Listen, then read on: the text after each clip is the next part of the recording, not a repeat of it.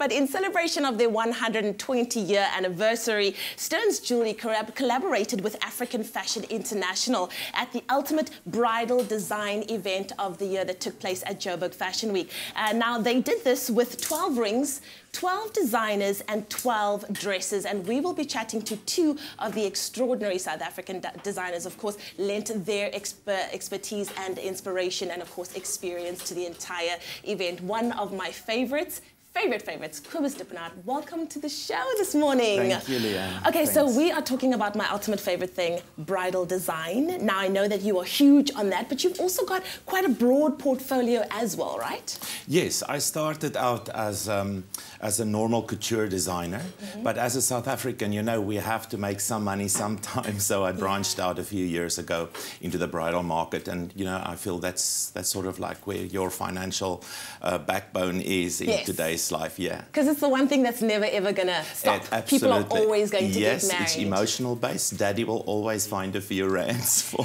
for his daughter for I getting a dress. That. Yes. I love that. Now, take us through this, this process of what you've done. Each designer got a ring and you had to design a dress being inspired by that ring. Am I correct? Yes.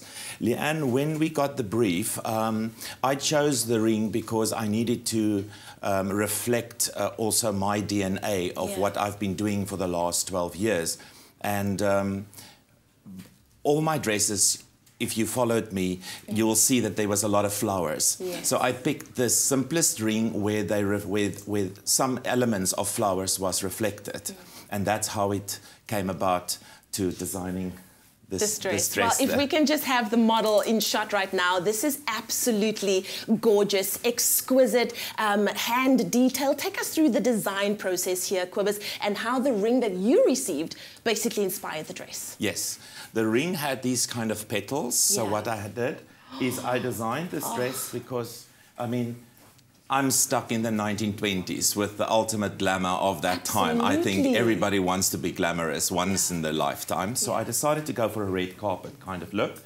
And um, then I just, yeah, I wanted that, that whole mermaid effect. Yeah. So we've drawn the flowers mm -hmm. and uh, I sent it away and it is all handmade. Are you serious? Yes. And uh, it arrived back in South Africa. I've put it together and this is what we came up with. It's beautiful. it's beautiful. And yes. I love how you you know how to design for the female body. I mean, I've worn your dresses before. Everything is in the right places. But Kobus, yes. for any woman who's looking for a bridal gown, what is your top tip for her when it comes to choosing the most important dress for her important day?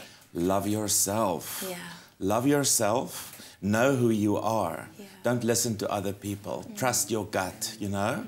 you, you, you, you're the person that's standing in that church by yourself yeah. for your man. Yeah. You know? Absolutely. Love yourself. And that's it is the most important exactly. day of your yes. life. You want to make sure that you are absolutely happy, so love yourself first. Yes. Well, yourself. there you heard it from Kobus Dippenaar himself with this exquisite gown. I tell you, this is something that I would definitely wear many, many, many times over. Not that I intend to get married many, many times over. Just saying. Thank you so much to Kobus Dippenaar for joining us. We are going to be meeting with another incredible bridal gown designer a little bit later on in the show, so make sure you stay tuned for that.